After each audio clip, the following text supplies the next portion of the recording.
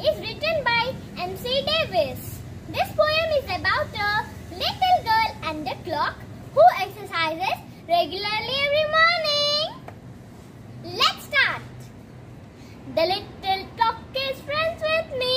It talks as plain as plain can be and says each morning as it rises, now don't forget your exercises.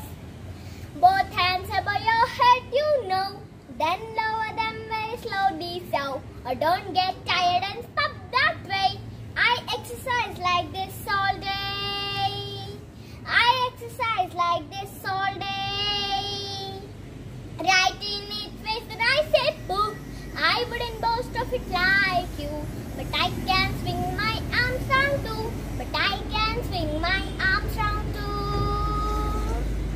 And so the clock then looks at me. And I look back and I and he. Each single morning when we rise. Just exercise and exercise.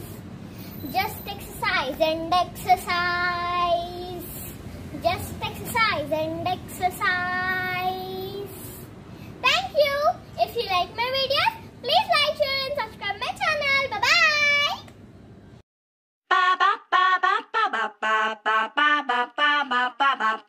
ba